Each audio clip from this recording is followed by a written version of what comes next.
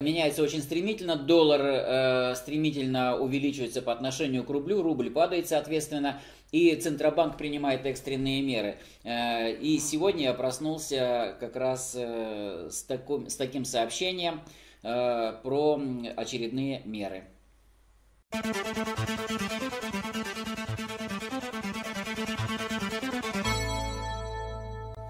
Итак, здравствуйте, друзья, здесь Демитков Юрий. Ну, могу напомнить, что э, до этого Центробанк э, первое, что сделал, это повысил ключевую ставку э, до 20% с 9,5%, то есть более чем в два раза, э, что должно укрепить рубль.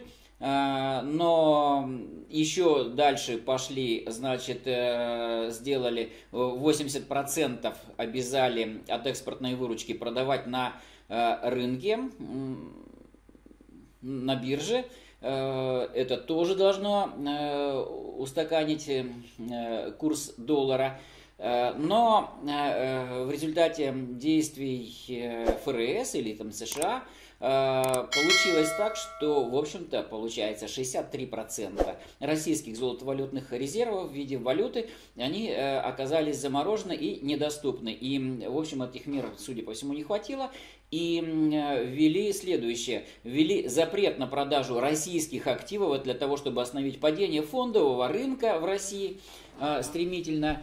И э, Далее еще какие меры были? Далее меры были о том, что по иностранным э, обязательствам э, разрешили платить э, в рублях и почему это произошло? Потому что рейтинговые агентства понизили, понизили кредитный рейтинг России ну, до мусорного, до э, уже дефолтного, в общем-то, сказать, и поэтому э, сейчас э, ожидается, что все-все-все фонды инвестиционные, они будут отказываться от российских акций, и, соответственно, поэтому сейчас и торги не проводятся. Ну, э, вот э, с чего я как бы начал, э, то, что я проснулся от новых мер. Итак, Банк России вводит временный порядок операций с наличной валютой. С 9 марта по 9 сентября 2022 года устанавливается следующий порядок выдачи средств с валютных вкладов или счетов граждан. Все средства клиентов в валютных счетах или вкладах сохранены и учтены в валюте вклада. Уже хорошо. Клиент может снять до 10 тысяч долларов США в наличной валюте, а остальные средства э, в рублях по рыночному курсу на день выдачи. Э, комментирую. Значит, смотрите, э, что это значит. Если у вас есть вклады, я узнал уже точно, э, вклады в нескольких банках, и в этих нескольких банках, на этих вкладах, в каждом банке более 10 тысяч долларов, то в каждом из этих банков вы сможете снять по 10 тысяч долларов. То есть, если у вас, скажем, счета открыты в трех банках, и в этих трех банках лежит по 10 тысяч долларов, то вы сможете снять э, в каждом банке по 10 тысяч долларов. Это были разъяснения на сайте Э, Центрального банка Российской Федерации. Ссылочку я скинул в свои чаты в Телеграм э, на это разъяснение. Э, что касается, если в одном банке у вас несколько счетов и но, но в одном банке, то, соответственно, снять вы сможете не более 10 тысяч долларов, и это за все время до 9 сентября, то есть это временная мера, но мы знаем, что ее могут и продлить, как это у нас часто бывает. Вот таким образом. А, при этом я напоминаю, что вывод, вывоз за валюту, э, наличной валюты за рубеж ограничен 10 тысячами долларов. Э, ну, как бы вот так. А без наличной валюты нынче ехать вообще э, смысл не знаю какой, потому что, потому что карты российских банков не работают. Если у вас нет карты иностранного банка, то Э, вам будет туго. Вот. Ну, дальше э, читаем. Рыночный курс на день выдачи определяется на основании данных о средневзвешенном курсе соответствующих валют, рассчитанным по сделкам, заключенным на организованных торгах в день предшествующий дню выдачи. Ну, хорошо, что не в день э, того, когда, э, когда деньги были положены.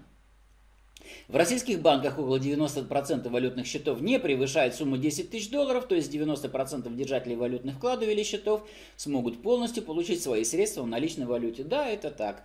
Э, в период действия этого временного порядка э, валюта будет выдаваться в долларах США независимости, вне зависимости от валюты счета. Конвертация других валют в доллар США будет проходить, э, происходить по рыночному курсу на день выдачи. То есть, ну, сделаем смелое предположение. Вы едете в Европу. В Европе евро. Евро вам не дадут. Вам дадут доллары. Понятно, да? Вот. Э, почему так, я не знаю. Ну вот, вот так.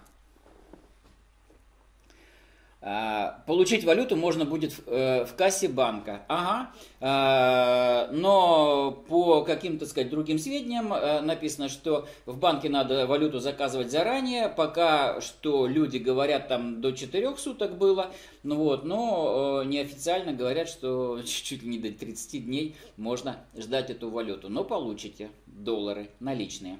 Вот. А, граждане смогут продолжать хранить средства на валютных вкладах или счетах. Все средства сохранены и учтены в валюте, в которой был открыт счет или вклад. Условия по вкладу или счету не меняются, проценты по вкладам будут начисляться, как обычно, в той валюте, в которой вклад был открыт. То есть, пожалуйста, держите деньги на вкладе, э, они будут сохранены в той валюте. Граждане, не смог, граждане смогут открывать и новые валютные счета, и вклады, но снять с них средства, пока действует временный порядок операций с наличной валютой, можно будет в рублях по рыночному курсу на день выдачи. То есть сейчас уже, если вы э, побежите открывать новый валютный счет в другом банке, то э, вот как бы не уверен, что вам дадут э, валюте. Банки не будут в течение срока действия временного порядка продавать наличную валюту гражданам поменять наличную валюту за рубли можно будет в любой момент и в любом объеме. Э, поясняю, значит, если вы хотите пойти в банк, в обменник и э, купить там валюту, то у вас это не получится, вам ее не продадут. Если у вас есть валюта и вы хотите ее продать, вы можете совершенно спокойно пойти в обменник и продать ее э, благодарному банку, банк будет счастлив. Вот так.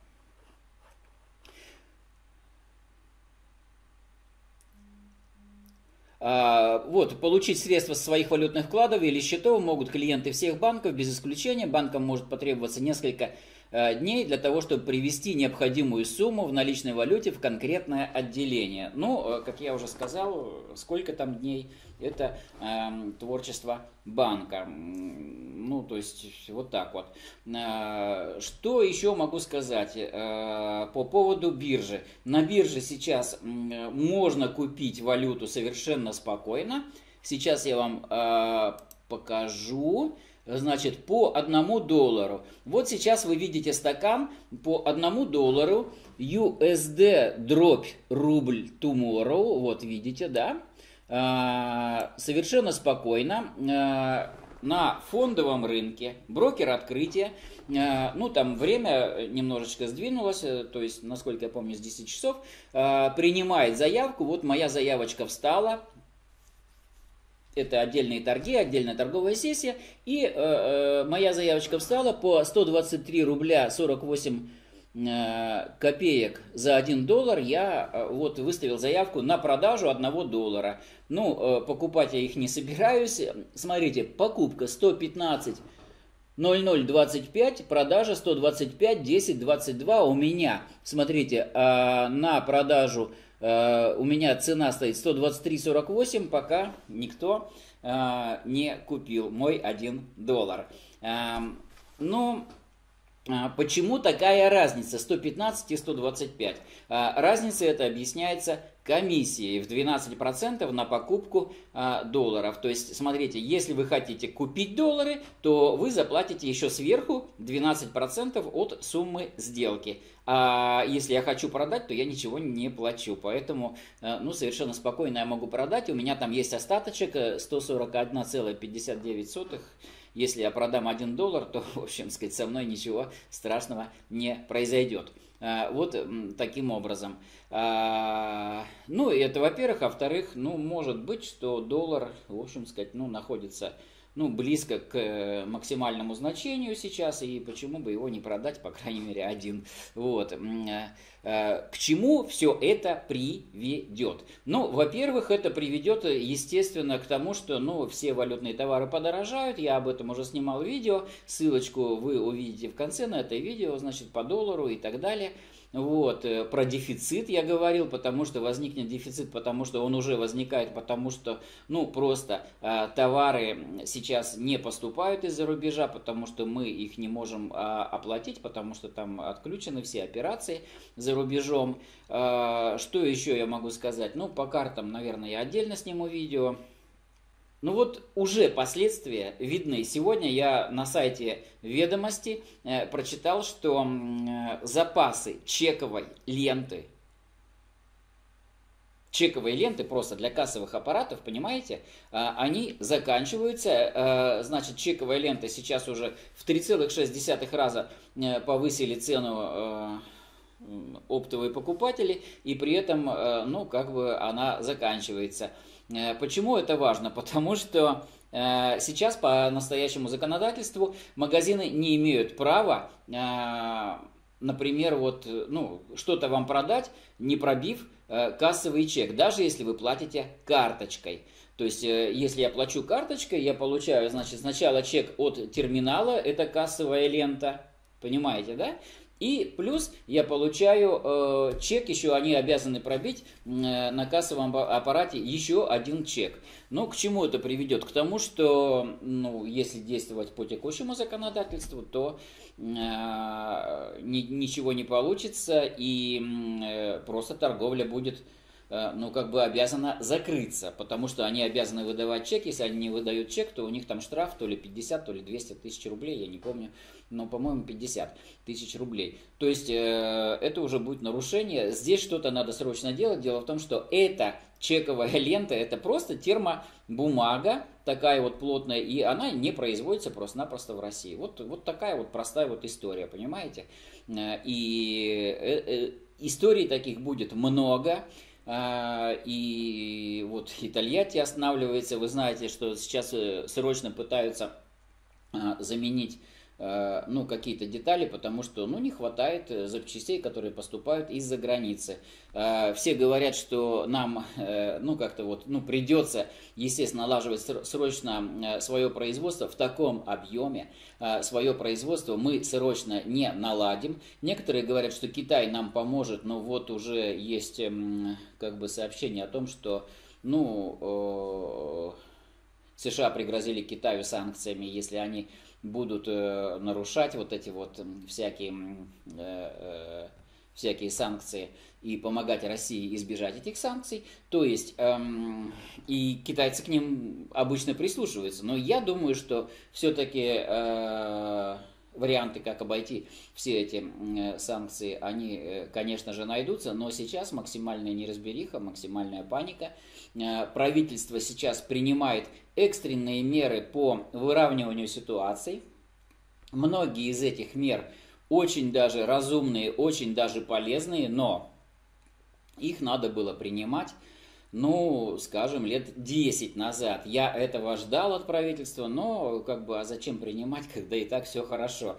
Э, глушили бизнес, глушили малый бизнес. Сейчас принимаются экстренные меры э, по спасению э, малого бизнеса, по амнистии капиталов, уже принято законодательство, но поможет это или нет, я думаю, что это очень полезные, конечно, меры, и насколько это сильно поможет, я не знаю. А, но э, с другой стороны, я вот видел сегодня а, инициативу депутата Хинштейна, который предлагает заморозить цены, ограничить рост цен, значит, там административными какими-то методами. Вот это вот точно приведет к дефициту товаров. Ничего больше не случится. То есть мы э, либо идем к Венесуэле, либо мы э, оздоравливаем экономику. Здесь одно из двух. Но э, я думаю, что все-таки в правительстве у нас сидят не глупые люди, если честно. Вот, э, они все понимают, они понимают последствия, и они будут, конечно же, э, принимать экстренные меры э, для того, чтобы что-то наладить. Э, наладить все точно не удастся. Вот, но я надеюсь, что в течение там, ну, двух-трех месяцев ситуация начнет как-то выравниваться, и что очень приятно, малый бизнес начнет расти. Сейчас массово закрываются всякие иностранные бренды, иностранные компании, там Икеа, Макдональдс и так далее, и так далее. К чему это приводит? Это приводит к тому, что люди теряют работу. И пока еще, ну, Макдональдс, например, сказал, что сохраняет зарплату, там, значит, там, по-моему, Икеа тоже сохраняет зарплату, но насколько они сохраняют? Ну, на Западе принято сохранять зарплату там до трех месяцев, а, что будет дальше? А у этих людей, я напоминаю, это ипотеки и так далее, и так далее. Если будут а, задержки по ипотекам, то это значит, что банки теряют, э, терпят убытки, и э, правительство уже говорит, э, э, кредитные каникулы. Ну, что значит кредитные каникулы? Это значит за счет кого? За счет бюджета или за счет банков? Ну, очевидно, как, как обычно у нас это за счет банков. Значит, банки э, понесут убытки, значит, акции банков упадут, они и так падают уже. Э, ну, в общем, э, ситуация прямо скажем, э, так себе. Но э, я уже выхожу за рамки, тема была про доллары в основном, поэтому э, на сегодня все. Пишите, что вы думаете по этому поводу, задавайте вопросы, постараюсь ответить. Лайк, подписка и до встречи. С вами был Демитков Юрий.